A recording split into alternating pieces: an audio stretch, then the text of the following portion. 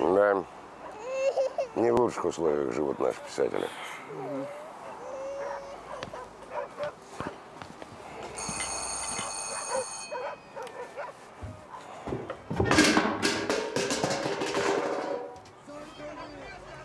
Если ты, мудак, мне еще раз позвонишь, я тебе такое, такое устрою. Это вы мне? Тебе, тебе. Я тебе падла под нос пущу, ты понял? Ты у меня всю жизнь на лекарства работать будешь, ты понял? Ты понял, я тебя спрашиваю? Артур Галыч, это вы? Да, это я. А это кто? Это я, Карпов. Председатель колхоза «Красный бунтарь». Вы к нам приезжали в позапрошлом году. Я-то думал, что Александр Иванович, голубчик вы мой, какими судьбами? Да вот в столице оказался, решил засвидетельствовать. Э, Федор, будущий режиссер. Бесполезно. Слушай, мне как-то неловко знал, что упрете, в чем он сообразил. Дом... Да ладно, перестаньте. Вон, все предусмотрено. В гости же шли. Ну, проходите. Аккуратно, аккуратно. Ай, ну вы меня за мудака, извините. Я думал, что это сосед. Он меня вот так вот достал. Три дня назад дал мне в долг бутылку водки. Я, честно, хотел отдать вовремя, но, но мне деньги за статью э, задолжали. Так этот дебил, этот урод, он меня на, на счетчик посадил. Ну, На что? На счетчик это на деньги поставить. да, это сейчас модно. Если его деньги вовремя не отдал, то он счетчик тикает, бутылка в день. А? Ну, я разозлился, что ему завод «Кристалл», что ли? Проходите. Прямчика какой? Ну да. Ничего, ничего. Пушкину тоже угрожали. Вот, скромная обитель отшельника. А? Моя гордость. По этим бутылкам я вспоминаю лучшие периоды своей жизни. Ну вот, например, Хеннесси. Хеннесси, Хеннесси. Рождение Зоечки.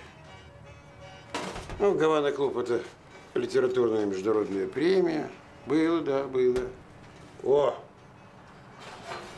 Амаретта. Особая гордость.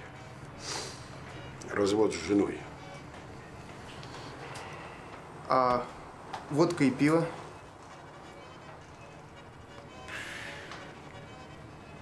Суровые будни.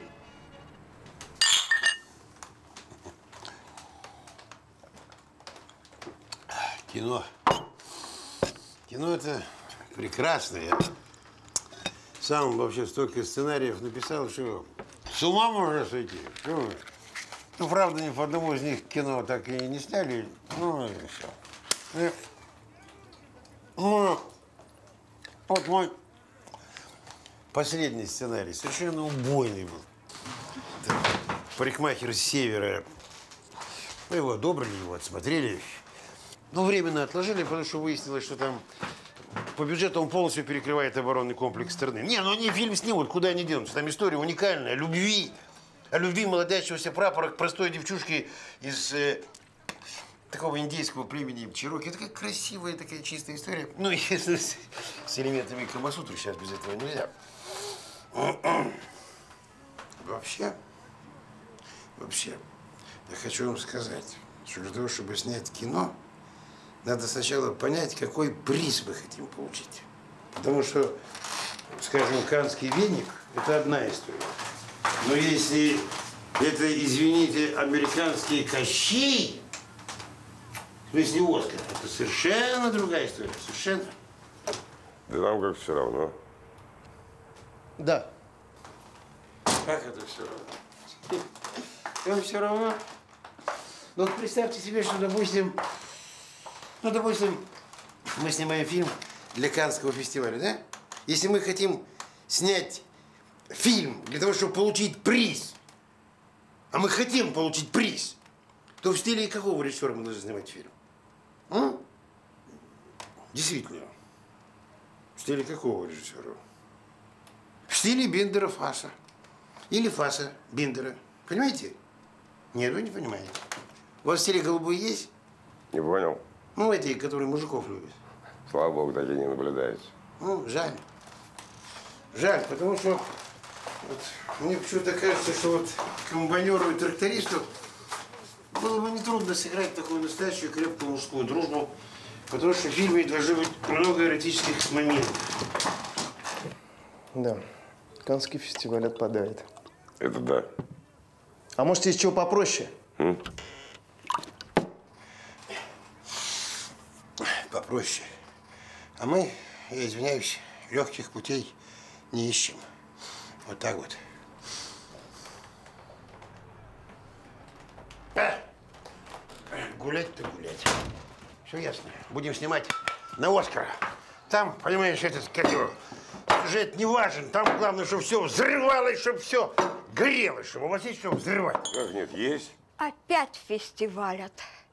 В том году от ящера вся скотина подохла. Свинарник надо спалить.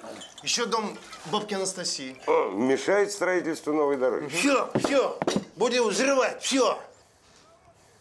У вас война была? Ищ, Какая. У нас даже немецкий танк с войны остался. Ну, гениально. Вот о войне и будем снимать. Господа, прошу встать.